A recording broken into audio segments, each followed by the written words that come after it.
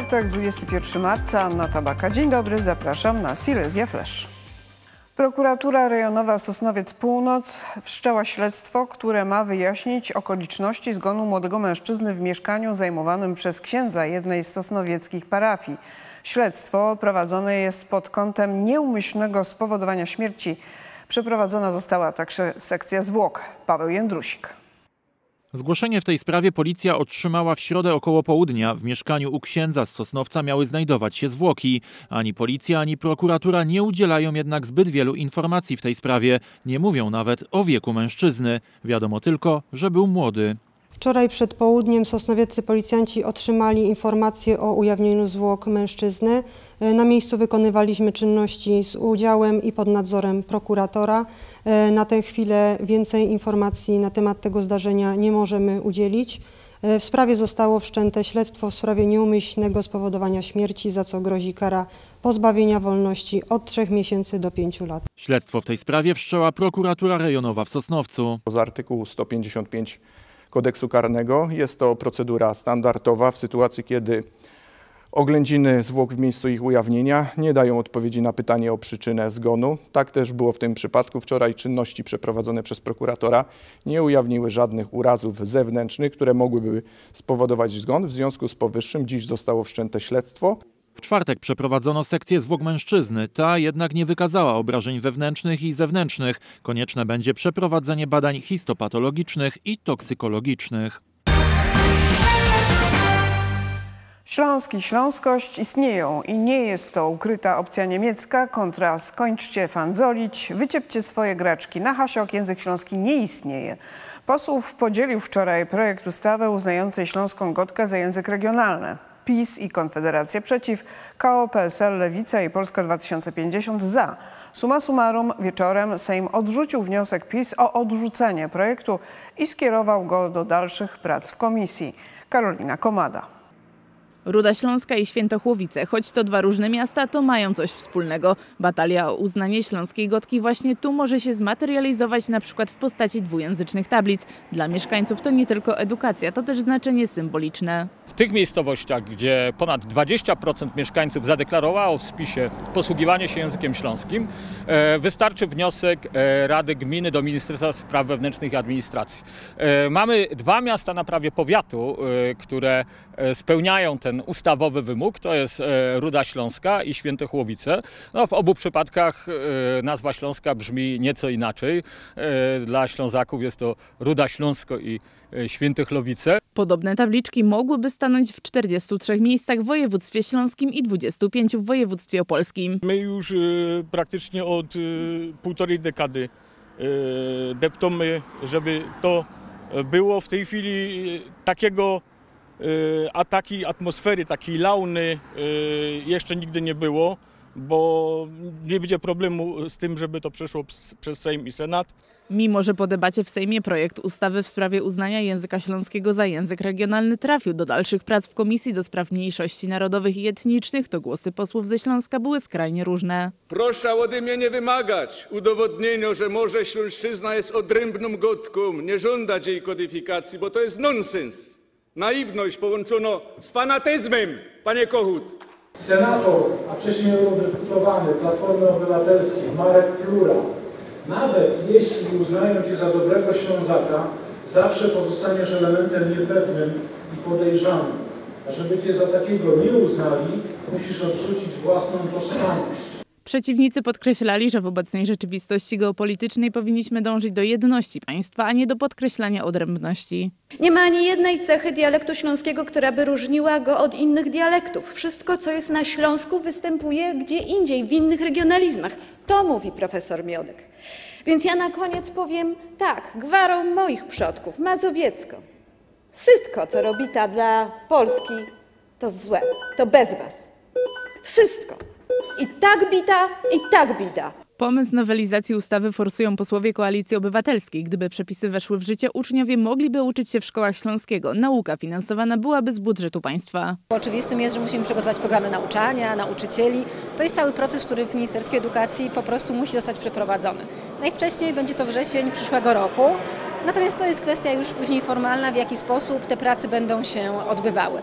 Mamy zagospodarowane 2 miliony złotych w budżecie państwa na to, żeby one poszły bardzo sprawnie. Osobiście e, uważam, że wprowadzenie tej możliwości nauki języka e, śląskiego w szkołach powinna być naszym priorytetem, ponieważ powinniśmy skupić się właśnie na edukacji, na kulturze, na przekazywaniu tego, co najlepsze. Ważnym sygnałem dla śląskiej odrębności jest niedawny wyrok Europejskiego Trybunału Praw Człowieka. Ten uznał, że Stowarzyszenie Osób Narodowości Śląskiej może zostać zarejestrowane właśnie pod taką nazwą, choć wcześniej Polski Sąd Najwyższy uznał, że Ślązaków nie sposób uznać za odrębny naród, więc wpisanie organizacji do KRS jest niemożliwe. Paweł Silbert, prezydent Jaworzna, zaprasza na debatę posła Platformy Obywatelskiej Wojciecha Saługę. Chce rozmawiać o przyszłości miasta i Izerze. Niedawno ten sam prezydent pozwał Saługę w trybie wyborczym. W tle pojedynek Silberta z kandydatem na prezydenta tego miasta Michałem Kirkerem. Wyborcze wojny o Jaworzno w materiale Pawła Jędrusika. Budowa fabryki Izery to jeden z gorętszych tematów w Jaworznie w ostatnich miesiącach, a i przepychanek politycznych. Prezydent Jaworzna Paweł Silbert wezwał do debaty posła Koalicji Obywatelskiej z tego miasta Wojciecha Saługę. Porozmawiajmy o fabryce Izery z perspektywy miasta i polityki, by mieszkańcy mogli jasno zdecydować, co najlepiej leży w ich interesie. Mieszkanki i mieszkańcy naszego miasta zasługują na tę debatę i Pana jasne stanowisko w sprawie budowy fabryki Izery. Po wyborach parlamentarnych w ubiegłym roku budowa fabryki stanęła pod znakiem zapytania. Zdaniem władz Jaworzna rozmowa jest potrzebna. Tym bardziej, że dochodzą do nas głosy, liczne sygnały z e, Warszawy, ze strony rządu pana premiera Donalda Tuska, że projekt ten będzie kontynuowany, będzie realizowany, e, więc warto zakasać rękawy, usiąść do stołu i porozmawiać o tym, o tym projekcie. Takie zaproszenie zaskoczyło posła Wojciecha Saługę, który mówi wprost, to zabieg wyborczy Silberta. Trochę śmieszne to wezwanie do debaty. Przez wiele lat nigdzie mnie nie zapraszał, nigdzie mnie nie zauważał, szykanował, krytykował, ignorował. E, palił mu się grunt pod nogami, uwierzył w slajdy premiera Morawieckiego i zakładnikiem tego kłamstwa o milionach samochodów elektrycznych. No i próbuje ratować swój wynik e, wyborczy. Zaskoczony jest też kandydat na prezydenta Jaworzna z poparciem Koalicji Obywatelskiej, Michał Kirker. Jest to dla mnie troszkę zaskakujące i zabawne jednocześnie, ponieważ przez tyle lat aktualny włodarz nie wykazywał chęci dialogu, nie wykazywał, nie wykazywał chęci na rozmowę i spotkania. Natomiast teraz, kiedy kampania powoli dobiega końca, jesteśmy już na ostatniej prostej, nagle się otwieramy i chcemy rozmawiać. No troszkę zabawne, cud przedwyborczy. Napięcia między prezydentem Jaworzna a koalicją obywatelską są w ostatnim czasie spore. Prezydent pozwał już do sądu w trybie wyborczym posła Saługę, ale w pierwszej instancji sąd oddalił powództwo. Wczoraj przyszła ta astronomiczna, dziś kalendarzowa. Wiosna toczy od kilku już tygodni walkę z zimą, choć ostatnie dni i noce minęły pod znakiem przymrozków i lodowatego wiatru.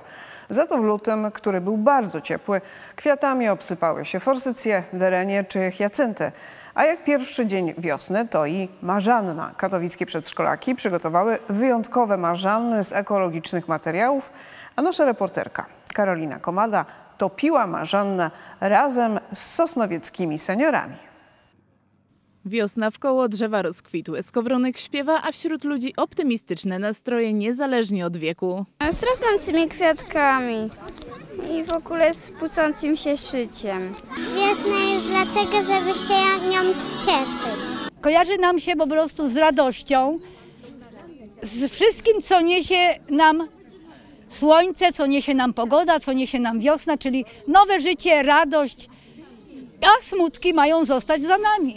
Smutki mają zostać zażegnane, a raczej zatopione wraz z symboliczną i ludową tradycją. No to jest stałopolski zwyczaj topienia marzanny, bo to przez zimę wiadomo ludzie biedni głodowali tego i topienie marzanny, w ogóle słowo marzyć pochodzi z całego germańskiego umierać. I jak to żegnało się zimie, marzanny się topiło, to zaczynało się lepsze życie.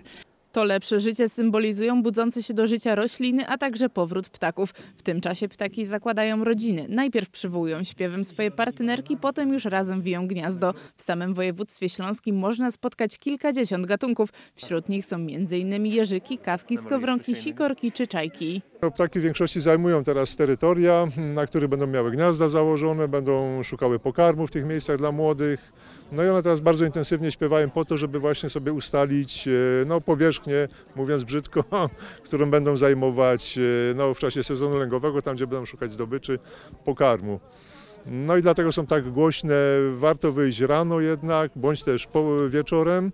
Wtedy aktywność ptaków jest największa. Choć 21 marca rozpoczęła się wiosna kalendarzowa, to wiosenną pogodę możemy zauważyć znacznie szybciej. Stąd też wyróżniamy pięć rodzajów wiosny. Wiosna astronomiczna jest ruchoma. No, w tym roku zaczęła się 20 marca o godzinie 4.07. Mamy jeszcze oczywiście wiosnę termiczną. Ona jest związana z temperaturą średnią dobową. To są dni, kiedy temperatura wynosi od 5 do 15 stopni. Ta średnia dobowa. I w zasadzie taką wiosnę mamy już od początku lutego, można powiedzieć, z małymi przerwami. Wiosna meteorologiczna zawsze zaczyna się 1 marca i trwa do końca maja. To są te trzy miesiące. No i jeszcze jest wiosna ta chyba najprzyjemniejsza, przyrodnicza, fenologiczna, kiedy obserwujemy po prostu rozwój y, przyrody.